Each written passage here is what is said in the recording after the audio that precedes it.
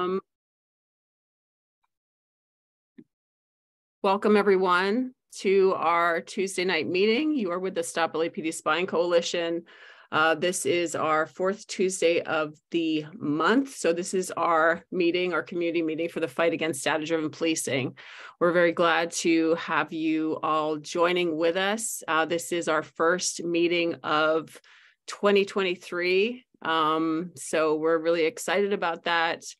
And um, sorry, my name is Tiff. I use they and them pronouns. Um, I've been a part of this fight against data driven policing for a while now, maybe five or six years. I'm really glad to be um, here with us this evening. I'm um, joined by um, co-facilitator of this space, uh, Hamid. Um, we're also supported by a lot of additional folks who do work um, to support this space and also support the different working groups, um, Matios and Shakir, um, and additional folks uh, doing a lot of that work. Chris, we're glad to have you with us. And yeah, so tonight we are going to be talking about, um, as we think about our fight against data driven policing in this year, uh, we're going to be talking about one of the main components of that, which is uh, SARA projects. And we'll get into what those are. Uh, but tonight we're going to be talking about um, we're going to be talking about how this is being used in Skid Row in the Skid Row community, and the reason that we are kind of centering our fight there as we think about our fight against data-driven policing in 2023 is that uh, for a number of different reasons. One is that this is where we are based. This is um, our home and the community that we are accountable to. Um, the Stop LAPD Spying Coalition is a part of uh, LA CAN. We are housed within the LA CAN um, community right there in, um, in Skid Row.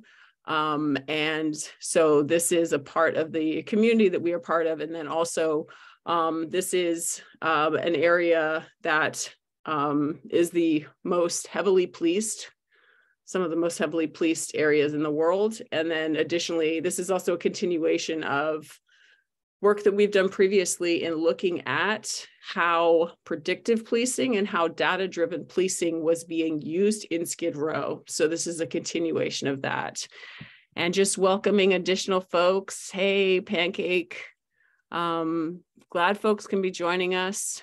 We're just kind of getting started going over the agenda. And um, I'll just pause and, and also just encourage folks to ask questions as we go along. Like if we are, if folks have a question about maybe one of the terms or one of the things that we are talking about, please do drop it in the chat, raise your hand. Um, and uh, yeah, I'll just see if there's any other questions or Hamid, anything to add? Welcome back. By the way, we're glad to have Hamid joining us, not really in person, but more locally than recently. Thank you. Thank you, Tiff. It's good to be back and uh, excited about uh, setting up our fight for this year. And uh, SARA is, uh, well, there's a whole lot to be said about that. So, yeah, thank you.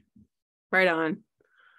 Okay, well, let's get into it. So, the way that I thought that we would kind of structure our conversation tonight is we'd start out by um, just touching on like what is data driven policing and what have been just a, a, some of the main programs that LAPD has been has been using in the past. So, just reminding us of that and how those were being used in Skid Row.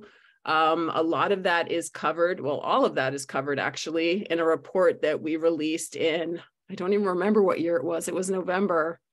It was 2021, right? November 2021, automating banishment. Uh, folks can find that online at its own website. Um, let's see, automatingbanishment.org. And um, yeah, so we invite you to check that out. And then, um, but yeah, so we'd start by just reminding ourselves of that, how it was being used in Skid Row, and then talking about what is SARA, what are these, um, what is what is the data-driven policing program that is being used today, um, and then looking together at uh, the SARA reports that we've gotten that do talk about where it's being used in Skid Row. And we are um, looking forward to being joined by General Dogon at some point later in the conversation as well. Really glad to have Pancake and, and other members from the community joining us. And we'd love to hear folks' thoughts and feedback in terms of, you know, as we're looking at this and looking at some of these locations, just getting a better understanding of what that means and, and what is what is um, what are in those, um, what are at those locations essentially. So that's kind of the overview of what we'll do. So we'll start by uh, just reminding ourselves again. Sorry, let me just be checking the chat. Okay, for some reason I just can't open my chat. There we go. No, I apologize. Okay. All right, so uh, now we will get into, yeah. So in terms of data-driven policing, um, this is essentially those policing programs that use that claim that they are data-driven to justify who they're policing and where they're policing. So um, this is something that police have uh, has kind of emerged in a response to, um, you know, accusations of the police being racist, uh, accusations about where and who was being policed, and so what has emerged kind of more solidly over, you know, a number of decades and years has been this claim of policing coming from a place of being uh, evidence-based or data-driven. Um, and so this kind of allows police to pretend that um, that there is no bias, you know, there is no racism on their part, but this is that they are policing these areas, they are policing these specific people because based on data and data analysis that they have done. So that's the claim.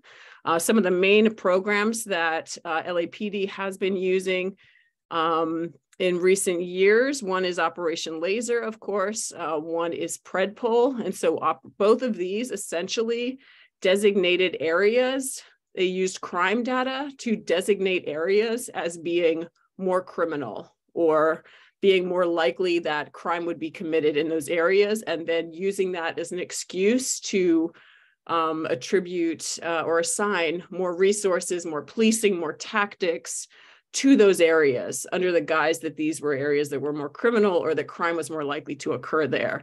Um, Operation Laser additionally had a um, person-based aspect to it where they were focused on who are the chronic so-called chronic offenders in an area uh, these were people who were deemed to be more likely to commit crime um, based on information that LAPD supposedly had. But what we came to understand as we exposed the program is that this a lot of this was just based on like so-called like hunch hunch based policing um, based on who they thought was criminal, um, not actually based in anything real. And um, so that's those were some of the programs that LAPD did have in place, Operation Laser and PredPol. Um, that was kind of a really quick overview of those. So I'll just pause and see if folks have any questions on that. But those were some of the main ones. Those have been shut down. Uh, we did shut those down through a lot of community-based research, organizing, pushback, um, building power together, and we did shut down Operation Laser, after exposing the harm of the program, that was shut down in 2019. PredPol was discontinued. It was dropped by LAPD in 2020 uh, as a result, again, of community um, feedback and pressure. And um, then, so thank you, Matios. Yes, that was uh, Laser, Los Angeles Strategic Extraction and Restoration was what that stood for. Um, and then what took the place of those. Um, actually, before we get into that, let's take a look first at, um, we do want to talk about, so before we get into that, I'll just back myself up. We'll talk about Operation Laser and PredPol and how those were being used in Skid Row, because what we're going to do in the second part of the meeting is then look at um, what are the areas that are being targeted uh, today with SARA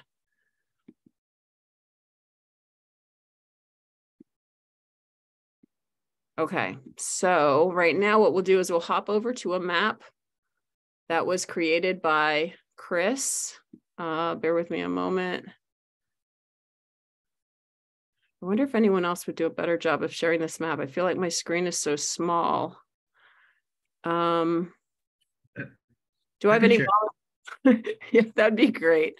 Uh, my screen is small, so I sometimes have trouble navigating. But essentially, what we wanted to do, Shakir, at this point was was to take a look at the map that was created for us um, for automating banishment that folks can take a look at on our website and take a look at the area of Skid Row.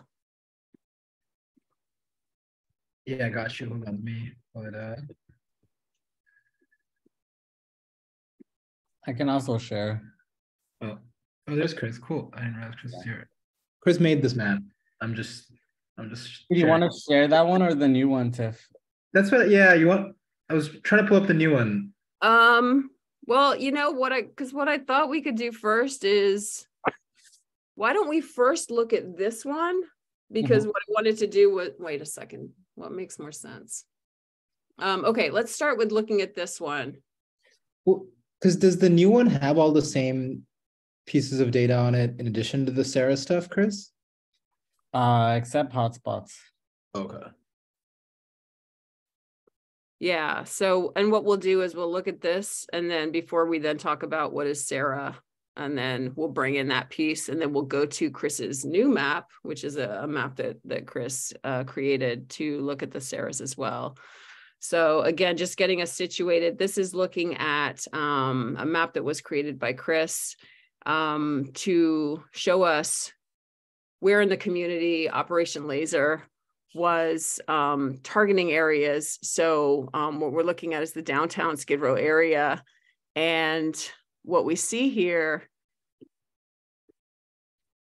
I'm sorry, I think we're zoomed out again.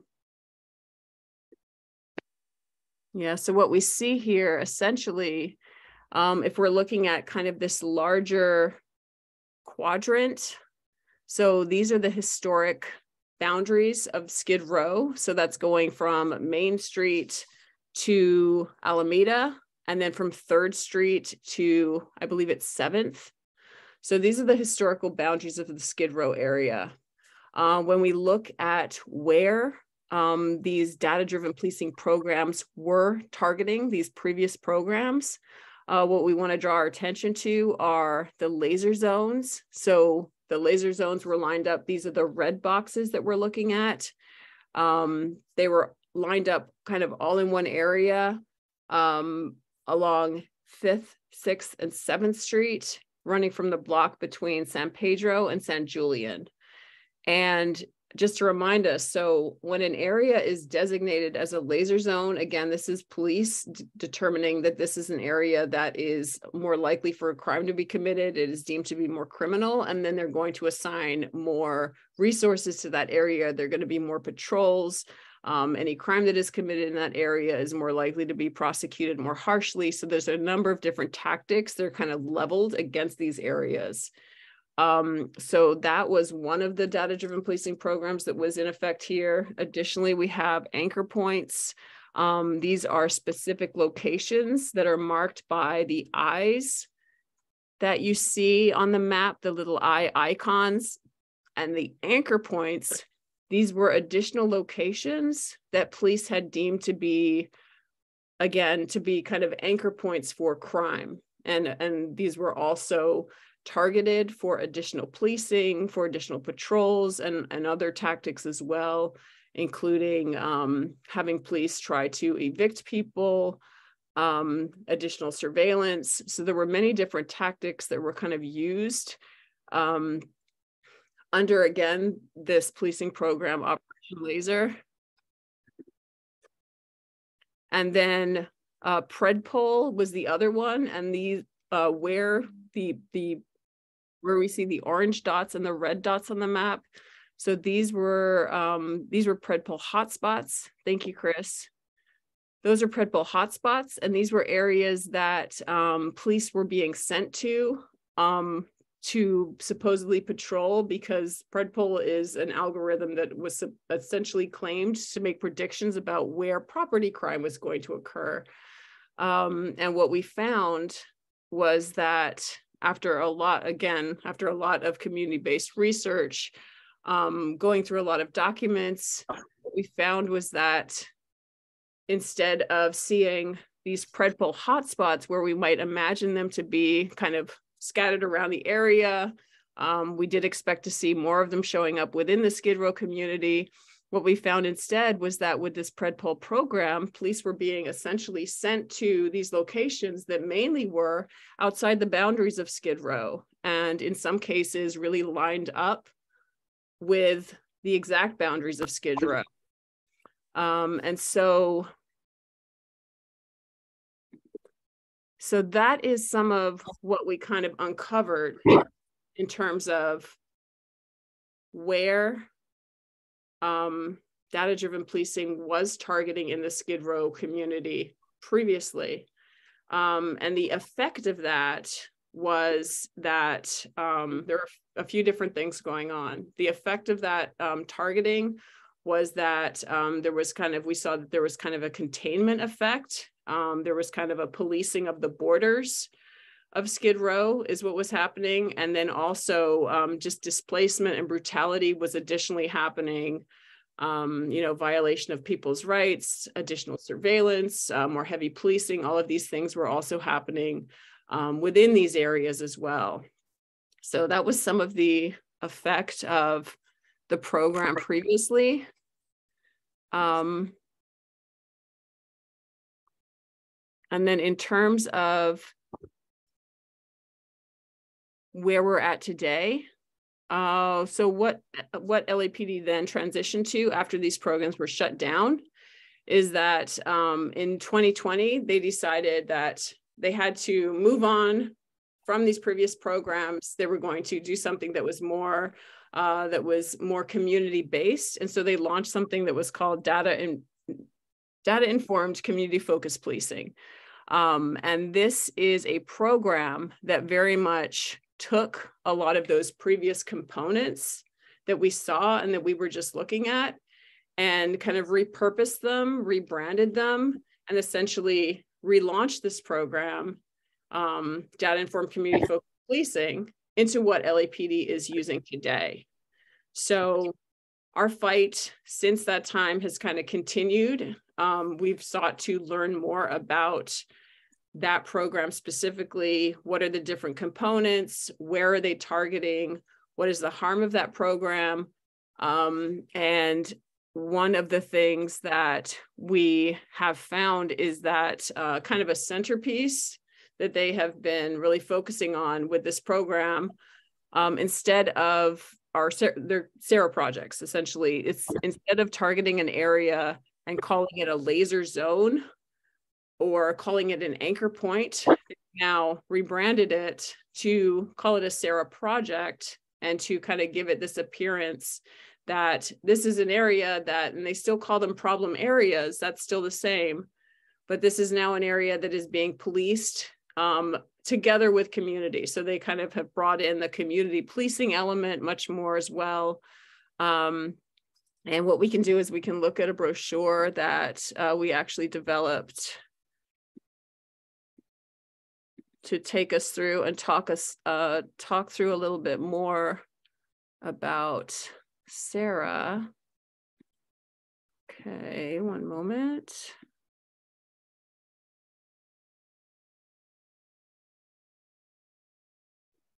Should I? Oh, you're doing TIFF. Okay. Yeah, I found it. There you go. Thank you. Okay, so this is the brochure that um, we developed to talk more about SARA and learn more about, um, and to be sharing also with community a bit more about what this is. So um, as we can see, we talk about what is data informed community focused policing, and then we talk about what is Sarah. Um, SARA is a four stage model of supposed problem solving. Um, this is what they're claiming that they do. Um, and SARA, the four stages of that are scanning, analysis, response, and assessment. Um, here on this brochure, we have some information about each of those stages. And then what we can look at is kind of this diagram where we look at that further. Let's see. Okay, so essentially these are the four stages of uh, this SARA project. So when they declare an area to be a so-called problem area, um, they then open up a SARA report on it. Um, and then part of that SARA report is going through each of these four stages of SARA and kind of detailing how they're responding to it or adding information about what is going on at each stage. So again, this is kind of the premise. This is what they're claiming that they're doing. Um, so we'll just kind of take a look at what that is. So with scanning, this is essentially a stage where they are gathering information. Um, so this would involve just a lot of data gathering, um, a lot of compiling of reports. Uh, we see some of the ways that information is gathered, community surveillance is going on. Um, then from that, after they've done their scanning, they compile all that information. Um, that part is done in the analysis stage. Uh, this takes place at a center that um, is called the ACCIC, which stands for Area. I can't even remember what that stands for. Area Crime. Mm, it's probably on here somewhere.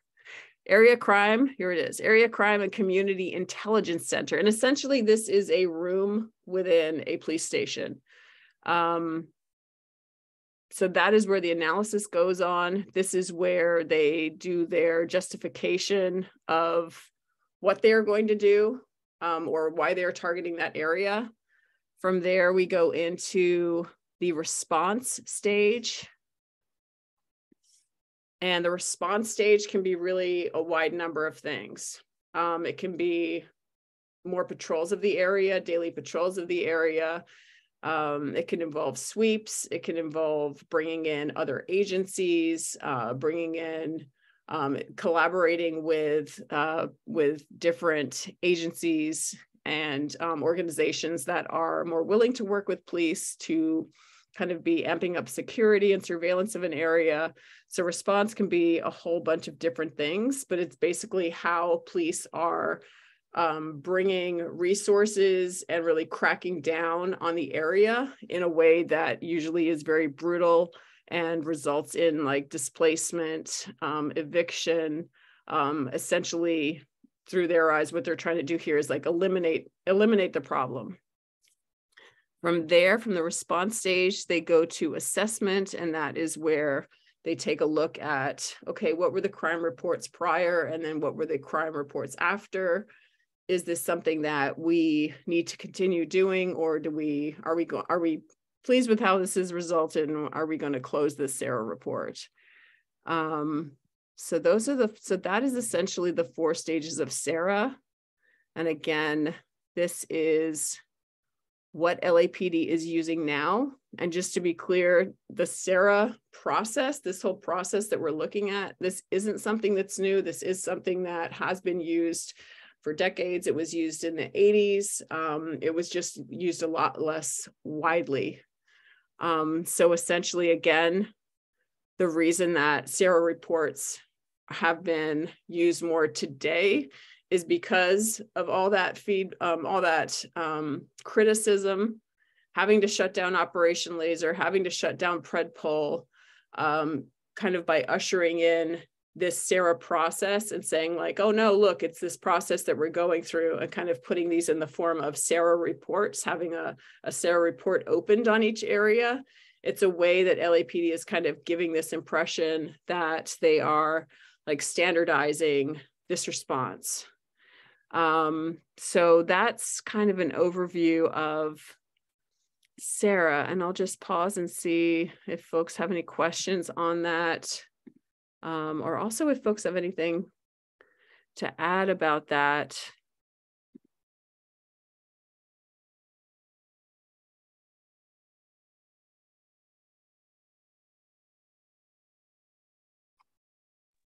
Okay. I, so, I just wanted to. Please go ahead, Hamid. Sorry.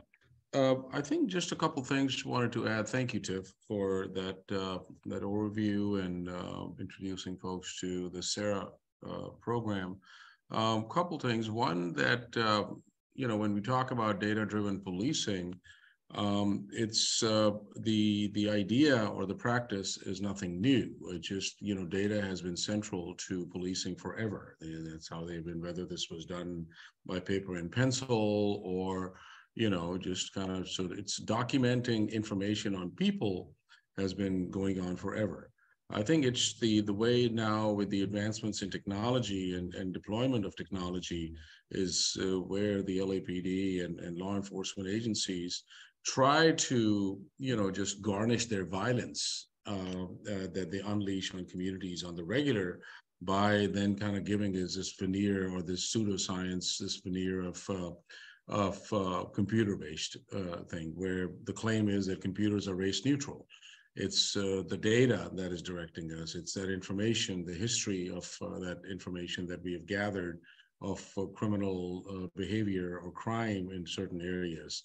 Um, but when, when when we cut through a lot of this stuff, you know, just as Tiff was talking about, uh, predictive policing and operational laser, many times that information that was put in that was through reported information. I mean these were not that convictions had happened and cases had been had been established and and you know so criminality had was established through the system. This is just a whole ton of information that constantly goes in which provides and and then it gets weaponized to target certain communities. So that's uh, that. Just wanted to kind of throw that in there. That that's where the the data-driven policing comes in. Then, as far as SARA is concerned, I mean that's really about uh, you know just what the Stop LAPD Spying Coalition has been has been lifting for the longest time. That uh, how uh, surveillance and spying are, are central to this thing. That how criminalization then happens and how data gets manipulated uh, to assign criminality uh, to individuals, to assign criminality uh, to uh, to communities. And in essence, what happens is that um, we talk about it in the coalition that how land beneath our feet gets criminalized. It's the whole idea is to disrupt people's life to the extent that uh, in case of uh, unhoused communities in Skid Row, that how they get harassed and intimidated on the regular under the guise of data-driven policing, uh, where they to make people's lives so miserable that they kind of self-banish themselves, like you know, then they that they leave. So this is how it, it goes back to the broader uh, political issue uh, around the city, and then this is the season for where the city is going to be, uh, you know, talking about the budget, and they're going to be approving budgets, and we will see that how you know the response to everything is through policing. So I just wanted to throw these things that you know when we when we look at these programs, we have to also very clearly uh, just be debunking them and and discrediting them because this is just a smoke and mirror. This is just a facade of supposedly computer aided and computer driven policing uh, just to continue to to do what they have always done and how this information is weaponized and then people are just uh, criminalized and banished. Yeah, thank you for that, Hamid. Uh, and I see your question here in the chat, Maggie, asking if terms like SARA and data informed community focused policing, are they police terms? And I see you, Pancake. Shut it down. Absolutely. So in terms of um yeah, so in terms of what is so so in terms of what is SARA, and if that is a police term, so SARA is I believe I won't I won't look it up this moment, but I I know that that was um started I can't remember if it was started just by in LAP locally in the 80s or if it existed previously, but it is an approach um, that is used. Um, it's kind of, it is widely. Okay, let's see what Chris is saying here. SARA model process was built out of problem-oriented policing coined by Herman Goldstein, a criminologist. Okay, thank you. So there is our answer right there. I couldn't remember if it also has a base in like businesses, because I feel like it also kind of exists outside of policing.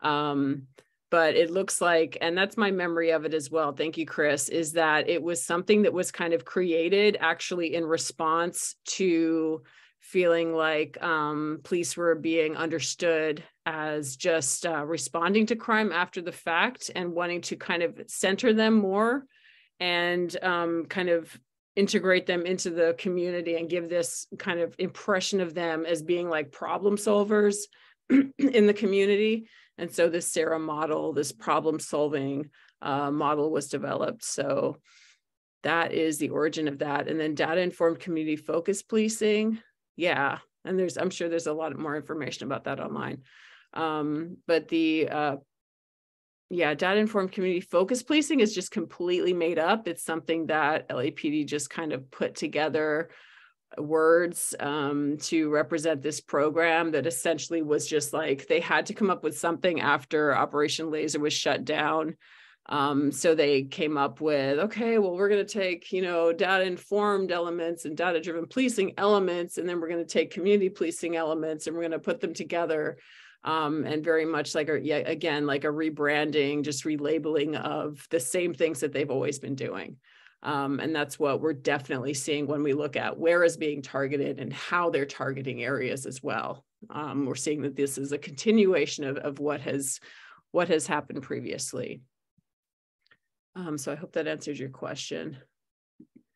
And then, so yeah, what we can do is, and I'm not sure if you're able to, to share it, Chris, the map that you developed, um, but we did want to take a look at where those SARA locations are today. So again, these are the new ways that LAPD is labeling an area. So previously they called them laser zones or anchor points. So the zone was kind of a larger area. The anchor point was more of a specific location.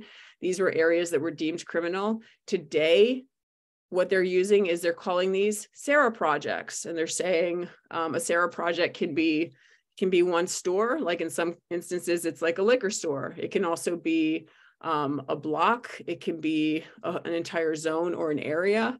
Um, and so the way that we got this information, same as we did for Operation Laser and Predpol, was by filing um, a demand for public records. And we did get back information showing us uh, where is being targeted um, in different communities. And one of those that we got was information on the Skid Row community. And if you're ready, Chris, we can share that. Um, Oh, I, I can't tell if it's being shared. Like, oh, you, we were going back and forth a little bit. oh, okay, because usually it highlights my screen anyway. Um, Yeah, you were you were sharing it a couple times. How about now? It says No, that you Yeah, I think it's just waiting. Oh, it says resume share, but it's not. Weird.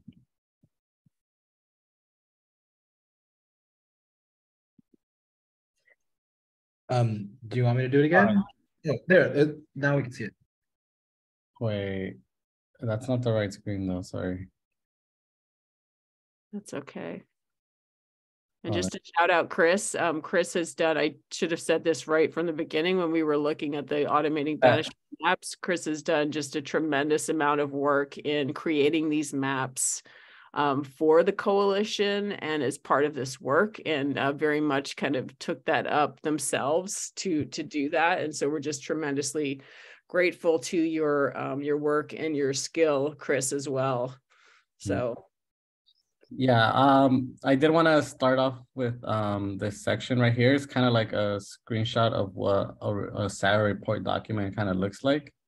Um, they talk about who's a client in the process, the location for it, um, some contact information, and the police assigned to it.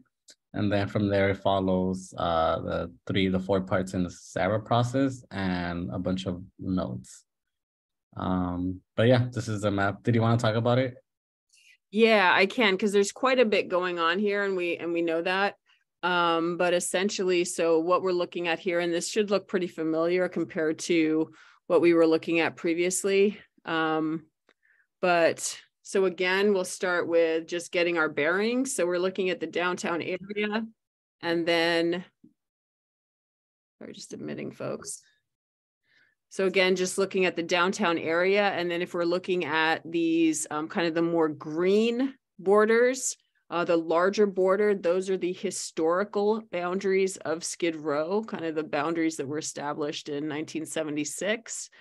Um, and then we still see, we still have on there the laser zones. These are these smaller boxes that Chris is hovering over now um those were from those do not supposedly exist anymore those are those are part of the previous um policing program Um, however, what we now see is this very large red area, and this is the SARA project that has been opened on Skid Row. Um, and we'll talk more about what is in that. Um, but this is the area that it's covering. Um, and so this is going from Ceres on the east side and then on the upper west side that is um, i believe that goes up to spring street south spring street. And then at the sides the borders are fifth and seventh. So it's that entire area. Um, and then we see LA CAN where LA CAN is located as well. And I'll just also, well, I won't, I won't touch on that yet. We also see kind of a smaller area in there as well, and that's to do with um, the downtown um, 2040 plan, which we'll get into in a moment. But in terms of just looking at where are these SARA, um, SARA zones located, so this is kind of a main one that we're seeing. And then additionally, I'm not sure if you can kind of scroll around, Chris, but we see like, yes, there's additionally the 700 block of Main Street. Yeah, and we can see that in the pop up that Chris has there. That is also a SARA project. Um, there's one right here. I think that's the 700 block of Grand. Is that right? Yep. 700 block of Grand is also a SARA location. And then there's a few others. Um, I think 700 block of Jackson, which is over here.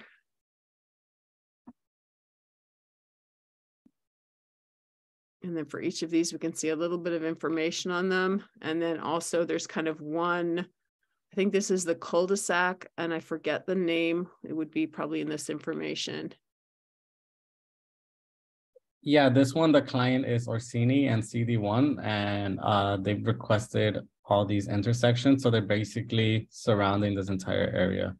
So they talk about policing the Burger King, the cul-de-sac, the alleys near around it, and clearing. And part of their work was to clear out, um, to contact the departmentation, Department of Sanitation and other folks to uh, basically banish the unhoused community there.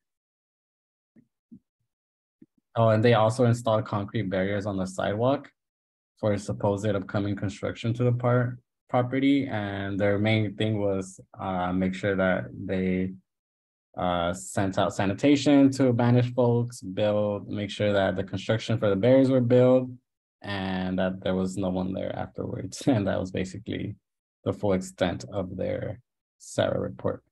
Mm-hmm.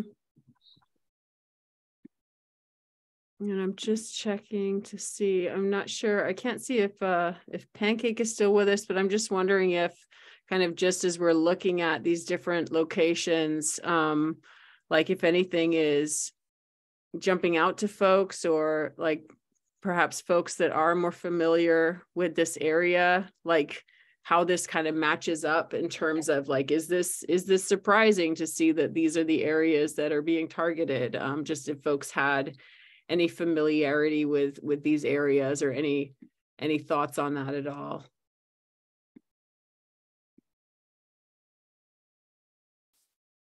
I do want to comment on MJ King's question.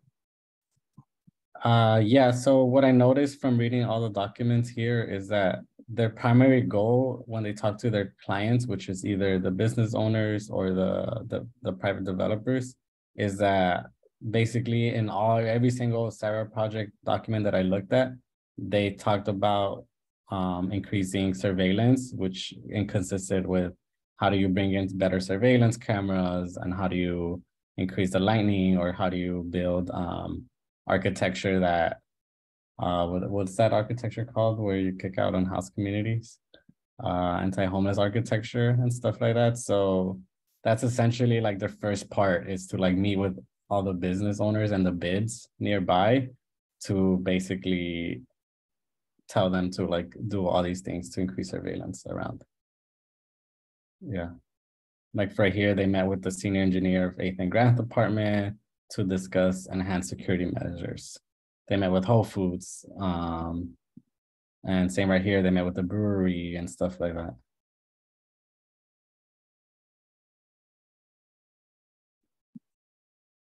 Yeah, and in terms of like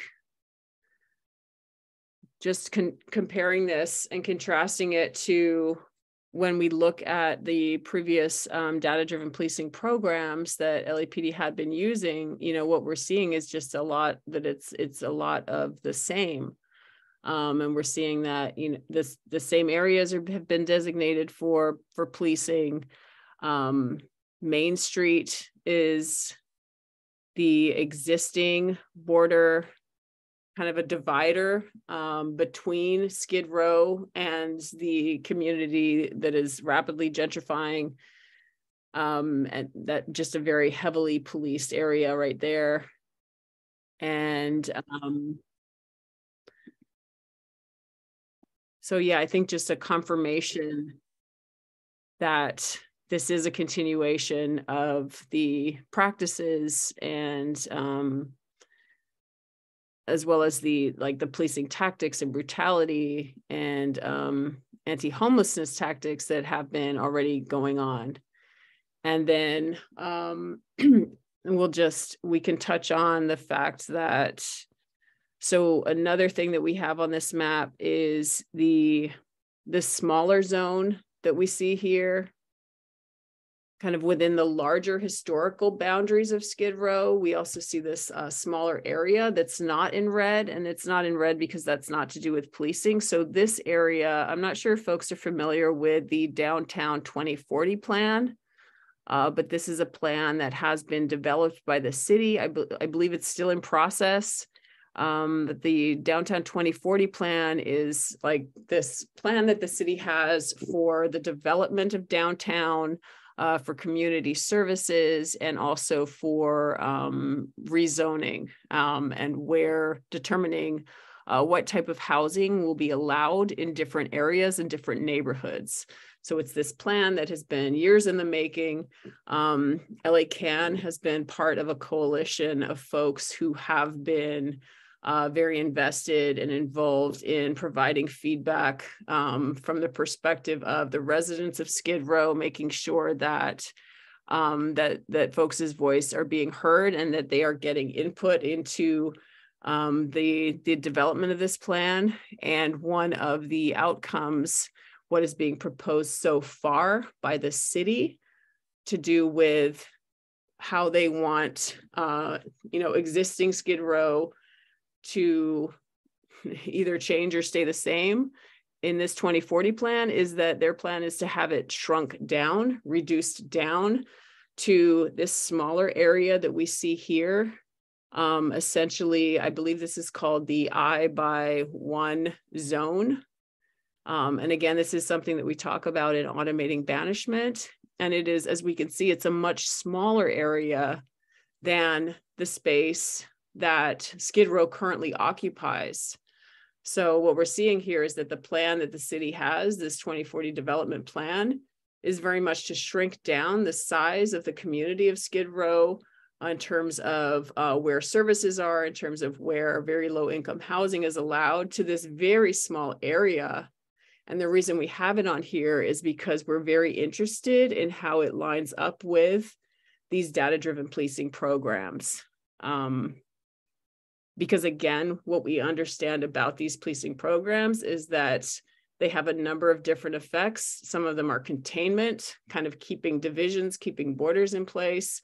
Um, and some of them are also pushing back on communities displacing harassing evicting um, completely banishing people. So we're very interested in what is that relationship between these policing programs and these development plans um, and I'll just pause and see if folks have any thoughts or questions on that as well. Or anything to add. I know we have a lot of folks here with a lot of knowledge about all of this.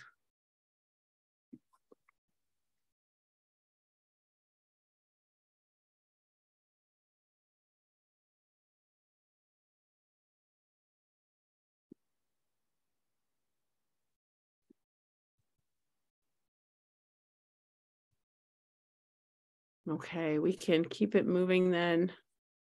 Um, so what we can do is uh, I'd just like to share perhaps we can share um, the SARA report itself and just take a look at um, what the SARA report is. Um, and so as we're talking about our fight against SARA and our fight against data-driven policing, we get that information about where is being targeted. And then also on these SARA reports, they give us information about who is involved and also the ways that communities are being targeted. So um, if we can, it would be great to just take a look at one of those now.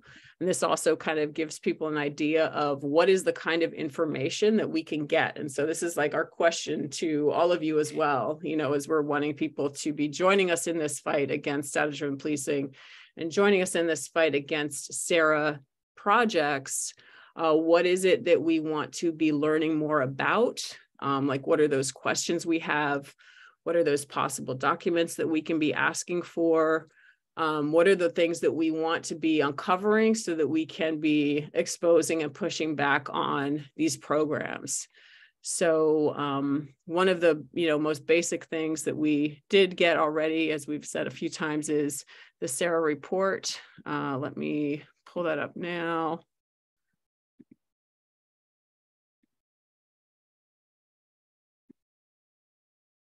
Okay so this is what a SARA report looks like. Um, so essentially what we see on the front here is at the top, they'll say, what was the opening date? Um, can folks see my cursor or no, probably not, right? You can, oh, good, that's nice. Um, okay, so yeah, we see the opening date here. Um, and again, so this is for that larger zone. This SARA project report is for that larger zone that we were just looking at. So from Ceres to spring and then between 7th and 5th. Uh, we see the date that that was opened. SARA projects are supposed to be opened for 90 days and then reevaluated. What we've seen with other divisions, um, not central division, is that very often a SARA may be open for as long as a year and a half or longer. And we see at the top here, we see the extension. So sometimes they open up a SARA report, they open it up on a certain date. Um, like Echo Park Lake is another example of a SARA report that was opened up and then it kept being extended. So they're very often opened on a certain date, but then six months later, they're still open. And then they'll file for an extension, they'll file for another extension. Um, and again, this is kind of not what the original premise of the whole SARA project report was when they initially launched it. And we're talking about it, of course, um, because it's never as they actually say. Um, the original idea was like, oh, this would be something that is a focus in a community for a while and then it moves on. But what we're seeing is that these are very long term projects and they actually will last for for months or even years. So one question that we have about this particular SARA project is, is this still open today? Because we actually don't see a closing date on this SARA report. So we see uh, who opened it, and then we see the stakeholder. And I would like to pause and see if anyone has any. Uh, we see it was a Para Los Niños uh, charter school, which is local to the area. And folks who are familiar with the area, um, folks who work in downtown, um, it, does, does anyone have familiarity with that charter school and perhaps what is the community's relationship with that? Matios, I see you turning on your camera. Yeah, do you guys do you do you all have and I'm not sure when I may not notice when Dogon Jones joins us, but these are questions that that we have for folks as well, is just to learn more. Oh, I see Pancake, your hand up. Please, yeah, anyone? Um, okay, can you hear me? Can yep. You, can, can you hear me? Okay, I want to say uh, Happy New Year, everybody. You know, it's good to see you, Tiffany. Welcome back, Ahmed, uh, Shakir, Matios, the whole crew, Stop LAPD Spy. Um, first of all, the um, Para Los Niños is a um, they, well, preschool is uh, located right at Para Los Niños, um, right across from LA Can. Um, that school used to occupy where LA Can is now.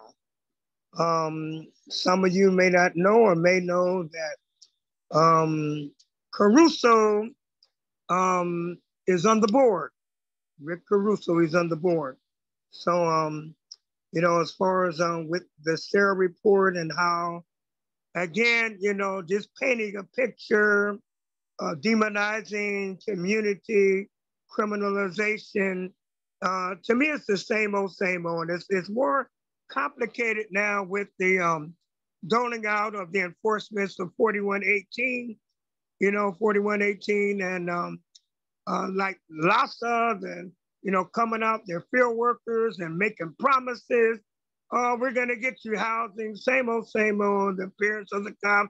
They just show up, but they're not doing anything, you know, it's like they're inflicting like uh, the fear factor, uh, being apprehensive, oh, this is going to happen and so forth. So you know, their presence is, to me, is making it worse.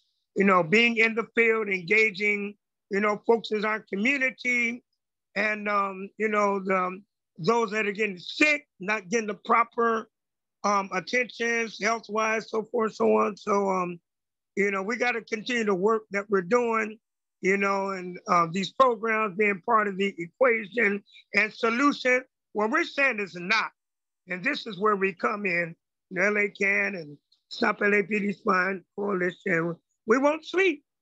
Because we know that these folks, they're not working. Like you introduced this, the same old, uh, different branding, but the same old, same old. So um, Dogon's not here. He's over in Leimert Park. I believe he had to speak as far as the um, uh, special enforcement zones, you know, there in Leimert Park. Um, it's going to you know, be enforced starting, I think, the end of this month, uh, starting um, um, the beginning of February. So anyway, I just want to input that and, you know, hopefully something that I said, you know, got to, uh, you know, um, gave attention to what we're really talking about. So um, that's what I have to say. Welcome back, Hamid. so um, anyway, that's what I have to say. So, um, and back to you, Tiff. Go Thanks. for it. Thanks so much, Pancake. We're so glad to have you. Thank you. Uh, I see a few hands. I'm not sure who was first, Hamid or Matthias. Go ahead, Matthias. Yeah, just a quick addition that I hope. Oh, yeah, I hope um, General Dogon can speak on when they hop on. But um, you know, recently about a month ago, I don't remember the precise date, some LAPD officers had actually come up to LA Can um, and threatened, you know, the folks who live just in front uh, with a sweep on a on a given date. And they never followed through with that. Uh, but uh, this this followed um, the recent expansion of 4118, which allowed um, the city to sweep encampments within 500 feet of a school. And so you know, I think for a lot of folks, General Dogon primarily was raising um, concerns around, uh, you know, Para Los Niños right across the street, um, because I'm guessing there's a history of friction there. And uh, for folks that have visited LA Can during, you know, office hours effectively, uh, you may have seen that they do have like a rather militant looking security presence right in front. Um, so I just wanted to flag that um, that's been our the other instance in which uh, uh Para Los Niños has been raised uh, in relation to LA Can. I'm hoping General Dogon can hop on to talk about that in more detail. That's great. Thank you for adding that. Hamid? Yeah, I just wanted to also uh, just, uh, you know, drawing those connections uh, uh as you were sharing Operation Laser and predictive policing earlier, at Tiff that uh, it's it's it's quite telling that in this one um, the community client is Para Los Niños, which is right across the street from where we are located, uh, right? But but it reminds me of how uh, when we got those uh, uh, laser zone and the maps and everything else, that how you know the area around Cal State Northridge was a laser zoned uh, when we go into uh, the east side, Roosevelt High School, the area around that was a laser zone as well. So, so this whole connection with uh, with places of learning, and uh, you know, then how they are sort of like you know, if, uh, if in this case, obviously, this is uh, as Martios was explaining that this is in proximity to a school, that 500 foot uh, distance, that they criminalize that area and that land. But the, the connection between educational institutions and policing in the sense of, uh, you know, just assigning criminality uh, and justifying their violence, that, that, that constantly weaves through.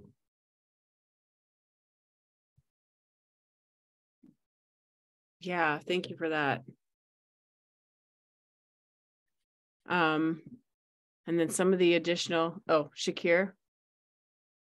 Hey, yeah, uh, sorry, my internet just got cut, so I missed a little bit of what Hamid said, but I was just gonna add something also about the SARA and you know, if that's okay. Yeah, yeah. Yeah, yeah. I think what I mean, you know, I hadn't realized we had a SARA report for them and for this location. And I think this really, I mean, it highlights a couple things. One is um, you know, they labeled this obviously as a SARA report for par. Is it par Paralos Ninos or Paralos? I think that's three words. Anyway, um, you know, um, that location, but obviously there's a lot more going on in that location. Like Brother Pancake said, like that's literally across the street right from LA Can. There's also, you know, people living on the street right there in front of LA Can and around the rest of the block. So, you know, that's even though they kind of use this as this entry point, as this anchor for their kind of community relations, like that's who they're obviously talking to. They're going to the charter school officials, they're going to the administration there, and they're having these conversations. That's kind of almost like a beachhead for their whatever activities are coordinating in the whole block and the area around it. Um, and so they use that as that's a kind of friendly entry point for them, and that's where they start. Likewise, it's like, you know, we've been hearing from Dogon and others who, um, you know, know the block well and have been working there a lot and have spent a lot of time there about kind of witnessing the schools, um, increasing kind of collaboration with police, you know, like we mentioned, Machios mentioned the, the cops stopping by and, and, and ask, you know, on kind of behalf of them. And, you know, what we've seen about the area being designated a special enforcement zone and all of, all of that happening is all that doesn't kind of happen by accident or in a vacuum. It happens through these kinds of direct collaborations with um, with yeah businesses or entities, or organizations that are willing to collaborate with police. They work with them to kind of develop this basis for the increase in police and the increase in in um, surveillance and criminalization. That that's like that's when we say this is part of like you know it says data informed community focused policing on top that's the community policing aspect. That you know when we think about community policing you might you hear that term you might think of the examples of you know cops playing basketball with kids or like handing out toys and those kinds of things. And that is part of it too. That's one part of the kind of you know how they build relations. But another is this kind of direct outreach continuously you know opening a direct line of communication with the with the kind of neighborhood organization or whatever and then developing those relationships that they're then now using to say oh well, we're receiving complaints about this. We're you know we've heard about all these issues. It's because of this kind of relationship that they deliberately built with the school that now they use that to kind of um, go after the parts of the neighborhood that aren't cooperating with them that aren't kind of collaborating with them Yeah, thank you for filling that in as well, Shakir. Um, yeah, and that's right. It's like it's like just as with the previous programs with like Operation Laser and who was de- decided to be criminal and what areas were decided to be criminal. It's more that they look at an area and they pick an area ahead of time and then they see what information can be gathered on it. Um, they go out and get that information after the fact. Um, it's very much shaped in that way. Um, and so yeah, and it's very interesting to see, like we see on here as well, like who is involved in the SARA process. We see that the CCEA bids are involved, which I understand, you know, LA Can has a long relationship, I think specifically with that bid as well, um, fighting against uh, the bids in the downtown area that's the bid the business improvement district that covers um, skid rows that you know LA Can uh, has to pay dues to it and as part of it and it stretches down further too.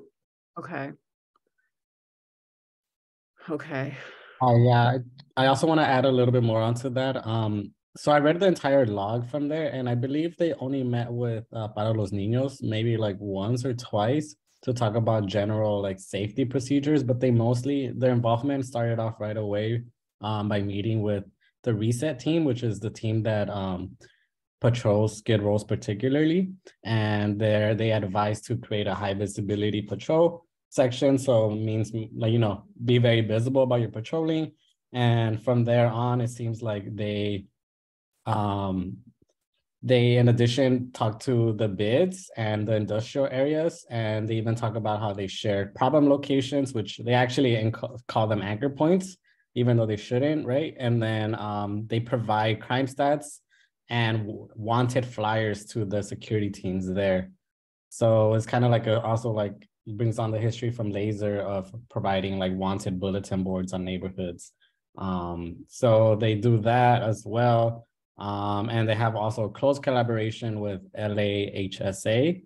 Um, and part of like the effect of this was, I think, 47 arrests, two impounded vehicles where people were living in there. And uh, yeah, so it's kind of just, you could tell really that the priorities, what it is, um, as opposed to, um, I guess, the youth, right? Yeah, thank you for pointing that out, Chris. I'm, I'm, and thank you again for taking the time to go through these in more detail. Um, yeah, and just to give folks an idea of like what else is in a SARA report. Um, so essentially on this first page where we have this information, they do give us a brief description of, um, you know, for each stage, the scanning, analysis, response, assessment, they do fill in a little bit. It's usually a very not, yeah, descriptive statement about what's going on there. Um, so like with scanning, that's where they're trying to, they're saying that this is where they identify the problem and they basically are just describing some of the things that are located in the area. Um, uh, SROs, so single residency occupancy, I believe is that what that stands for. Um, low income housing for folks, uh, missions, cold storage facilities, business, public parks, parking lots, numerous stakeholders made requests for extra patrol and then something redacted. Um, and then analysis. And I'm really interested that I think for, I can't remember if it's for all of these, but they have the analysis redacted. And I'm not sure, um, Shakir, if that's something that we can push back on at all. Like, I believe that you can legally push back on redactions or say that they're unnecessary or something, but it is interesting that they redact that part. Um, yeah, yeah, we'd have to look at it. I mean, there's a lot of um, kind of excuses or basis for redaction that they can say, like if it, you know, is kind of private information about a person or if it's investigative or yeah, but um, yeah, it's worth looking into. We've we've been able to push back on redactions before. Yeah. Um, okay. Um, and then, yeah, just Chris has, has named a few other things that we see in these notes. Um, we see that Central Cars will conduct extra patrols, reset units, um, which reset is a uh, unit within LAPD that only patrols within the Skid Row community. Um, uh, and will and then redacted will receive information periodically on some of our problem locations which is very interesting as well. Um, and as Chris noted, they do at some point reference anchor points.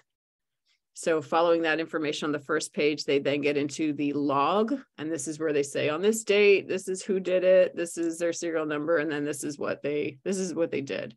So they kind of keep track of like some of the things that they that they did in relation to this SARA project or SARA location. Um, and we can see again, it's interesting to see like 6th Street and San Julian.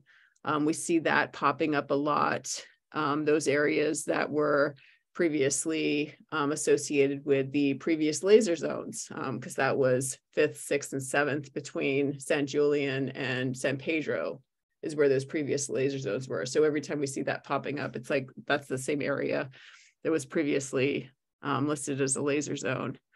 Um, meeting with BIDs, meeting with security. I was just looking for that reference to the anchor points. It's in the response section, so you you pass it. Oh, it is? Yeah. Okay. Right there, the first sentence, Central ACARS will conduct extra patrol, patrol in the major anchor points in Skid Row. Skipped right over it. I'm so sorry. Yeah, and you say that in your chat as well. Okay, yeah, thank you. So yeah, that's a really interesting statement that they just give us right there. We'll conduct extra control, patrol in the major anchor points in Skid Row. And they could just be using this. We know that sometimes they use terminology, you know, they just use the same terminology they've always used. We know that they use the term chronic offender to describe people that they believe that they describe as, you know, chronically offending. Um, for us, that had that term has, well, and for a lot of people, that term had a very sp- specific significance because it, it meant people who were being um, labeled under the Operation Laser program, but we will sometimes see that term popping up in other places. Um, so it may be, you know, that they've continued to use this term anchor point, um, again, which was being used under Operation Laser um, to mean maybe they're still using that term to mean that these are points that are, um, they call them anchors for crime. But for us, I think this gives us an opportunity to be um, like, I would be really interested um, for us to file a PRA that is like specifically to learn more about this SARA project and like to just focusing on this SARA project. Um, and perhaps that's one of the things that we can ask about is reference to anchor points. Um, another Sorry, another interesting thing about this one is uh, in one of their logs, they mentioned, sorry, um, meeting with Parks and Rec over security measures at the park, pending construction project timeline, Chauvin trial preparations and open table discussions. And if, if y'all know Chauvin, Chauvin, I don't know that name, uh, that's a police officer um, as part of the George Floyd um, murder. Yeah, so that's later down. So I don't I don't know how they're related to that, but apparently that was a big part of the discussion. Um, that's little that's more down. Yeah, and I'm scrolling down. And also, if anyone is interested in looking at this uh, information in more detail, um, please contact us and we'd be more than happy to share it with you as well. These are public documents um, that belong to the community uh, I think it's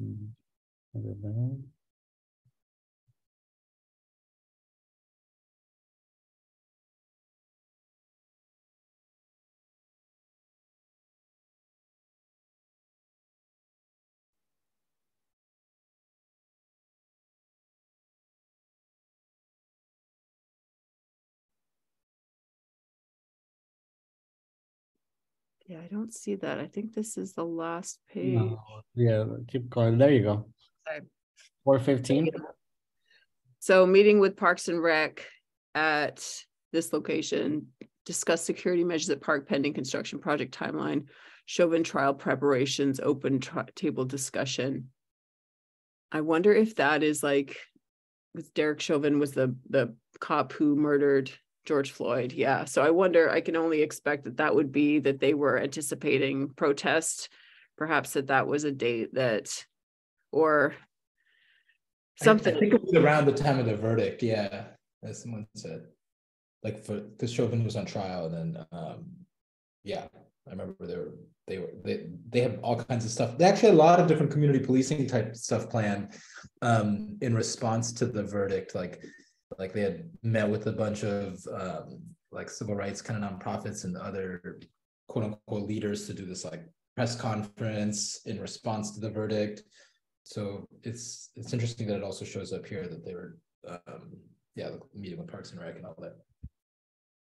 Yeah. Um. So yeah, I'm not sure if there's anything else, any other points that you wanted to call out on this or folks had any other questions about this, but kind of this is an overview of like the type of information that we get on these locations. Um, it's obviously very useful because it does give us insights into some of the specific activities that it's going on, some of the um, people who were involved, some of the collaborators who were like the supposed community partners, um, collaborators with police on this, Um, I also want to point out though that it does not, uh, very obviously, it does not give us the whole picture of what is going on. Like they have these logs of things that are happening, but it's it's just it is one narrative about what is going on. Um, and just we're reminded of that, like when, for instance, when you look at the SARA project for Echo Park Lake that had that massive raid and eviction. Um, I know that was in March. Again, I'm getting my years confused. Was that 2021? Uh, but when that happened, there was a SARA report opened up on it. And if you look at the exact days of that raid, it's like they basically are like patrol happened this day and we installed a fence. So it was just very, you know, they essentially say as much in these logs as they want to. So it does give us some insight.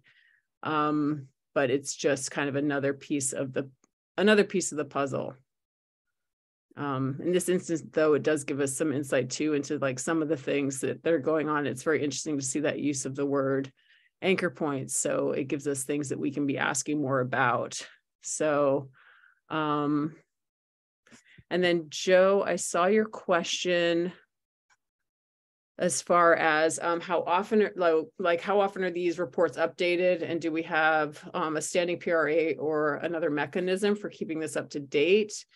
Um, that's a great question because it's the answer is that they're not updated often enough at all. So we have gotten a number of SARA reports through PRAs that we have filed, uh, but LAPD has been very slow to respond to them. And then um, I myself haven't been keeping up as much on kind of prompting them, getting at them to to respond back to us. So they have been very slow to release information. Uh, most of what we've gotten has been SARA reports from I think 2020, and we've gotten some from 2021, but we basically demanded all of them, and we've gotten kind of a, a very small percentage of those um, from when LAPD makes public updates about SARA reports. You know, we know that like they easily have over a hundred at any one time. And so we should be getting a lot more of those. Um, and, and again, that's something that with us having this meeting and kind of refocusing in this year and focusing our fight against data-driven policing, that's something that um, that we are really asking to see who is interested in joining with us um, on that part as well in terms of responding to LAPD's um, what they've released already, kind of taking a look at that PRA that we also that we already put in a request for, um, putting in our response and uh, demanding more information and seeing what other information that we can get from them. So that's something that we are very much going to be pushing forward with. And if folks are interested in joining us on that specifically, like that aspect of it, we we very much welcome your participation. Um, did that answer your question, Joe?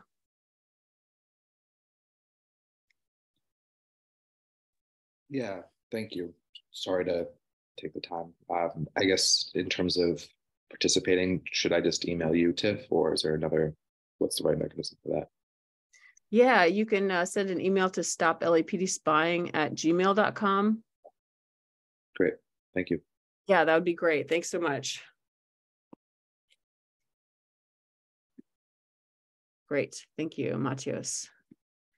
So um, I'm not sure if we want to, like as we mentioned, that was the, so this is the SARA report for that one zone. I'm not sure if we wanted to take a look at, um, are folks interested in taking a look at perhaps any other specific areas like let's see, this is Jackson Street, the 700 block of Jackson Street. It might be interesting to take a look at the main street. Okay, so this one is the 700 block of Main Street. And again, this is just a really interesting area because this is kind of that famous, infamous divider between Skid Row and gentrification, the, the downtown developments. Um, so we see that this one does have an opening date and does have a close date.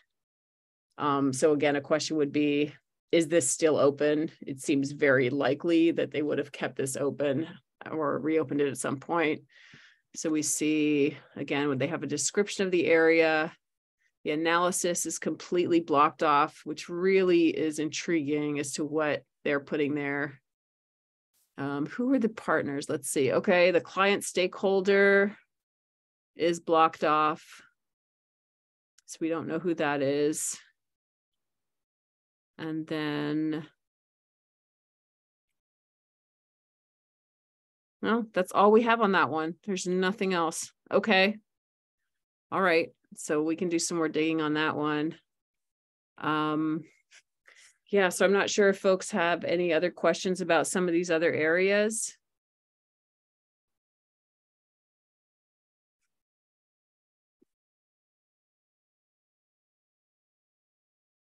That's very interesting, Chris. So Chris is saying in every single report, LAPD requested to continue the SARA project. That's really interesting. Okay, so and is that something that you're seeing like for instance on the like usually on the back page. So this is a back page of one. We've continued to meet with stakeholders, directors, and residents. So this is for the Grand Area one, 700 block of Grand Area. Um, we've continued to educate the community. We are requesting continuance to further monitor the area and continue to meet with stakeholders. Okay. Okay, so yeah, that's very interesting.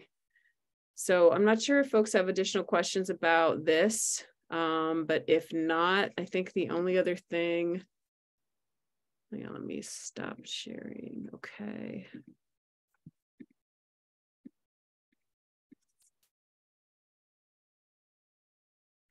Okay, so the only other thing I wanted to share with us is just to, um, which we've kind of touched on already, is just to um, take a look at the PRA that we currently have open on the SARA projects. And again, invite folks to join us in that um, as we push for more information.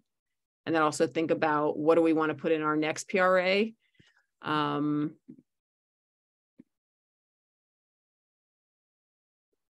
Okay, thank you, Chris. So Chris is sharing there in the chat. So that is the link to the map that um, Chris has created that shows those um, SARA locations.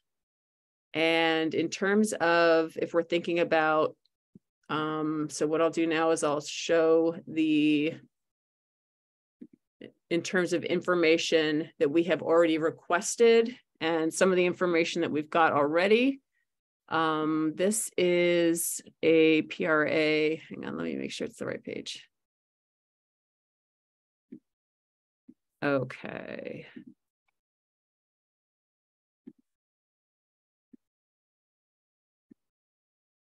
Okay, so we should be looking at here. This is a PRA that was opened up um, by our SARA working group uh, last February.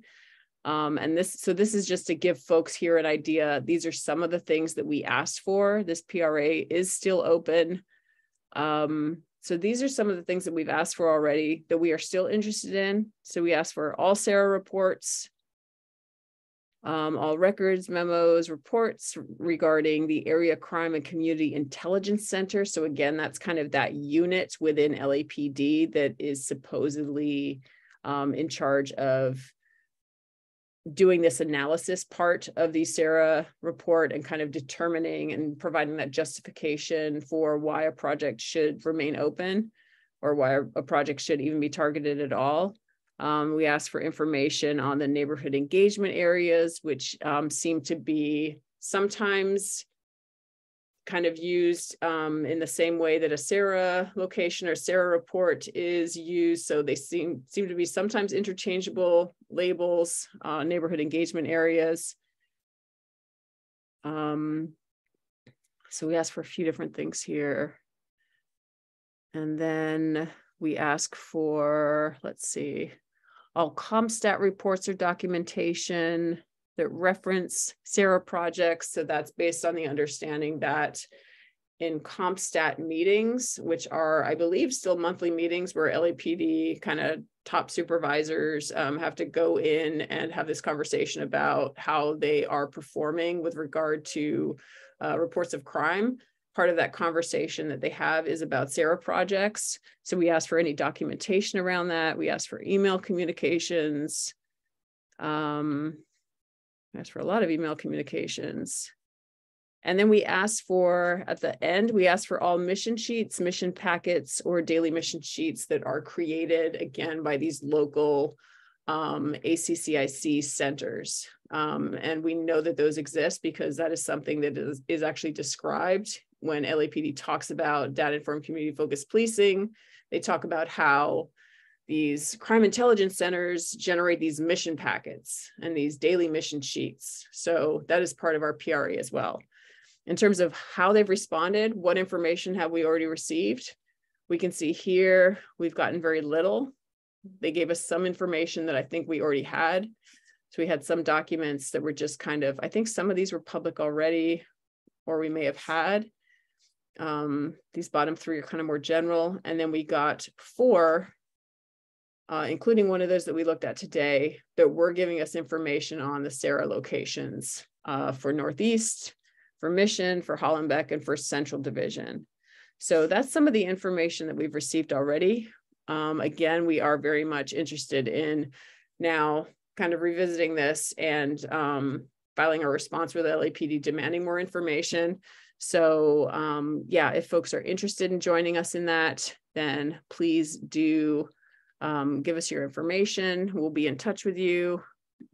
And um, as far as other aspects of our fight against SARA, uh, some of the things that we have been working on and are still interested in working on are developing um, pop ed materials, um, a SARA like pamphlet or brochure that kind of goes into which actually we have that we have that trifold already that talks about the process but we wanted to get into more detail in terms of like what does this actually mean when it is unleashed in a community and giving more examples of that, um, outreach materials. Um, and uh, so, yeah, if folks are interested in joining us in that fight, uh, please do get in touch with us.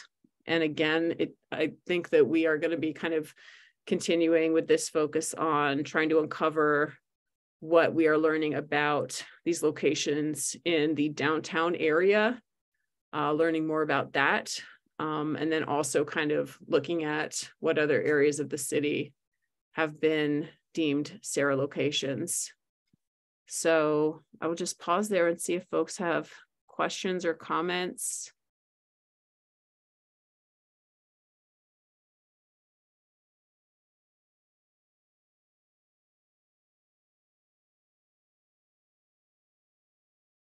Right on. Okay. Um, and anything to anything to add? Matios uh, or Hamid, you've been a part of our fight against SARA for a while. Um, no, just uh, uh, maybe let folks know when the data-driven policing working group meets. So if they want to be a part of this fight. That's an excellent idea. That's an excellent idea. Uh, Matios, did you have anything? No, no, that sounds good. I, I was just going to plug social media surveillance if folks are interested in uh, plugging into that. We meet at Thursdays at three o'clock. You can email us at Stop LAPD Spying and I'll send that info to you. Awesome. Yeah. Thanks, Hamid, for that prompt. I forgot that part. Um, yeah, so our um, if folks are interested, we do have a number of different working groups um, within our fight against data-driven policing. Um, Matios just named one of them, social media surveillance. Um, we also have community policing. Uh, we have the SARA group and um, a good place to kind of plug in and learn more about some of these different um, aspects of our fight and the different things we have going on are our monthly working group meeting that happens on Monday. It's always the Monday before the coalition, coalition's general meeting. Um, so yes, it's it's uh, it sometimes falls on different weeks but it's it's typically like the third monday of the month um, it is posted on the coalition the stop lapd spying coalition calendar that we have on our website so that is a place that you can get that information. Um, you can also email us to be a part of our mailing list and yes. Yeah always the monday preceding the coalition general meeting And um, I had one other thing. And oh yeah, the only other thing is that um, we do intend to be starting to have regular meetings of our SARA working group again. Um, we're thinking especially that, especially with this focus in the Skid Row area, it would be nice to be holding some of those meetings in person um, at LA CAN so that we can actually be kind of looking at some of these materials with folks and talking with folks um, in person. Um, we will kind of see how that develops, but but that is something as well. So folks are interested in joining our SARA working group, uh, let us know as well, and we are going to get those meetings started again. So that was everything that I had for the evening. Are there any questions or comments?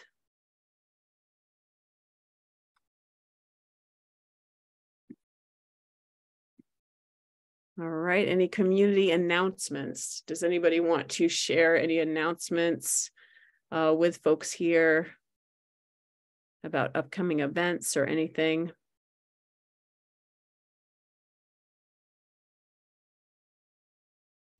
Uh, I've got one. Um, Go. yeah, so we, um, yes, uh, the coalition, specifically our Warren Youth Work Group, has been uh, working with these fourth through sixth graders at STEAM to the Future. And they're having a, they have these regular community days and uh, they'll be doing another one on February 3rd, uh, February 4th, which is a Saturday. Um, there isn't a flyer uh, yet out for it, but it's typically around 11 a.m. And are you, uh, I'm being told it's 12 to 2.